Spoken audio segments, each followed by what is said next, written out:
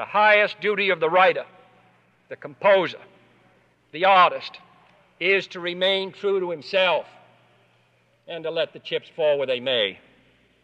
In serving his vision of the truth, the artist best serves his nation.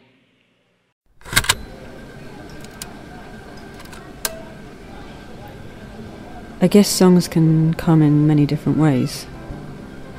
Um, some come quickly and insistently, others are more subtle.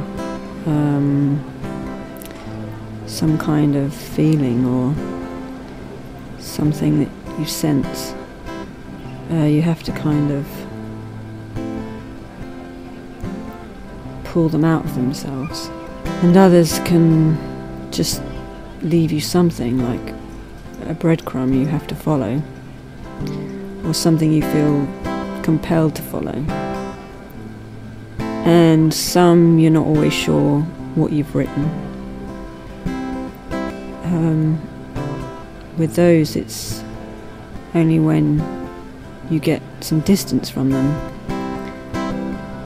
that you then begin to get closer to the part of yourself that they revealed.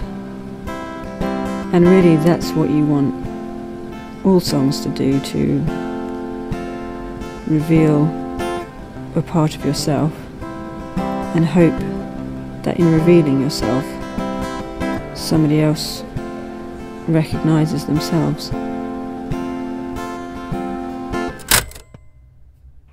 If art is to nourish the roots of our culture, society must set the artist free to follow his vision wherever it takes him.